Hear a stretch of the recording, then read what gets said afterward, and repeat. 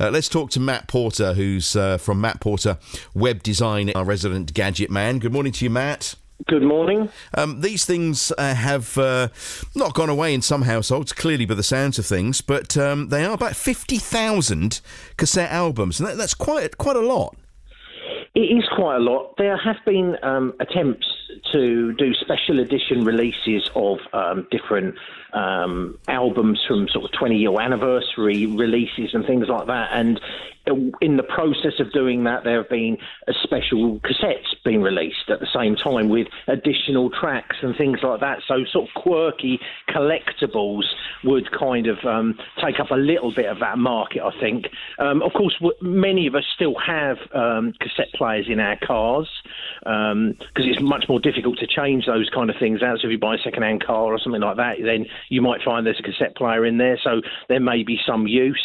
Um, and also, there's it's it's trendy, you know, that, that having a, um, a, a Walkman or a Sony Walkman or something like that, you know, cassette player, um, is trendy as well. So people are finding these in in um, second-hand shops and car boot sales, and, and, and obviously in order to use them, they have to have the cassettes to play as well. So there's kind of multiple reasons, I guess. Oh, you've just reminded me of a moment I had when I used to run my disco back in the 1980s, and I, I did a disco for the Ipswich Divorced and Separated Club, and uh, there was Sorry. one there was one there was one gentleman. It was a good night. Uh, there was one gentleman who clearly didn't appreciate uh, what I was doing because he actually walked around with his Sony Walkman on, strapped right. to his belt with his headphones on, playing his own cassettes, dancing on the dance floor while everybody else was dancing uh, to what I was playing. And I, I kind of guess that's probably why he ended up at the Divorced and Separated Club. I don't know. Did he have the orange headphones?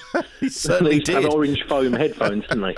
Um, Happy days. Yeah, yeah, they were. They were. It was a good format, and it was very useful for someone like when I was a teenager at the time, and we'd be recording tracks off the radio yeah. or making our own albums, compilations, and things like that. Um, it was also a bit of a pain because if you wanted to find a favourite track, you'd be spending you know, a couple of minutes fast forwarding all the way through an album, yeah. or fast or rewinding all the way back. And of course, you had the issue with having to stick the pencil through there to to re um, tension the tape because um, a lot of the time, if you played the same track, it would it would cause the whole thing to t- uh, become too tight, and you could end up stretching the tape itself, and then it would be all distorted. So um, yeah, it was a bit of a mm.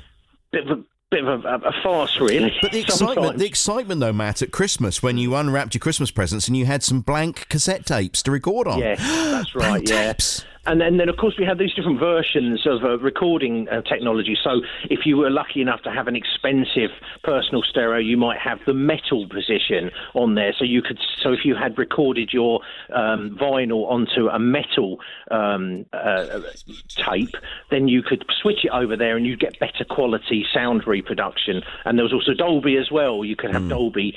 So there were all these different versions that you, you know, the more expensive you went for, the higher quality theoretically you got but there was well, I um, I did a, an online search this morning to uh, find some images for my Facebook page, and it really took me back. So if you've got a couple of minutes to spare, just uh, pop into your favourite search engine, cassette tape, and see the yeah. lovely images that come up there of uh, Memorex and TDK and Scotch and all of those names yes, that we remember right, so well. Names. Yeah. I think there's still one brand still makes them, um, but I think it's only one now, and they're mm. limited. I think it's Germany they're made in. Uh, factory in Germany makes them.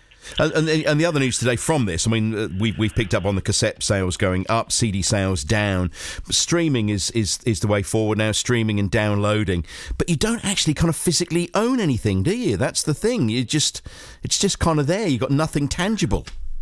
No, you haven't. The, the, especially with the streaming services where you're paying a monthly fee, and I do that. You know, I pay I pay um, uh, one of the services to, to, to have unlimited streaming.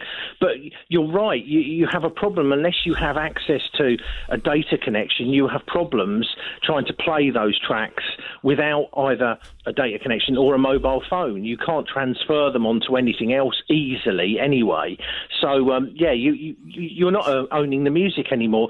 And arguably, if you speak to many of the artists, they're not getting paid a great deal either for each of the streams. Mm. So it, it's very convenient for us as um, people that want to listen to the music, but it's not so great for the artists, or so they will tell you. So um, buying the buying the music certainly puts more money in the artist's pocket than streaming it. You'll love this Apparently. from uh, you'll love this from Mary who's texted in. My dear dad was recording a Shirley Bassey song that he liked from the television because you could, couldn't you? You could walk up with your cassette recorder, put the microphone yeah. up to the television, and record it. In the middle of the recording, my dear mum could be heard saying, "Oh, she's got rather nice eyes, hasn't she?" We had the same. We had a similar thing when I was at school. We did a, a play in drama class, and it was a News at Ten based kind of play. So I was given the job of recording the News at Ten theme off the telly, and my cassette player was battery operated and was failing at the time. So when we came to the drama class to play it, it sounded like a comedy. You think it was just all slow and fast and everything like that. And we ended up spending the entire drama class just laughing and not actually doing anything. So good memories. Oh yeah, Johnny Lowestoft's still got his tapes. He's got Jimi Hendrix, ABBA, and The Damned. That's quite a selection. Uh, It is. Matt, thanks very much. Great to talk to you as always. From Matt Porter, a Web Design.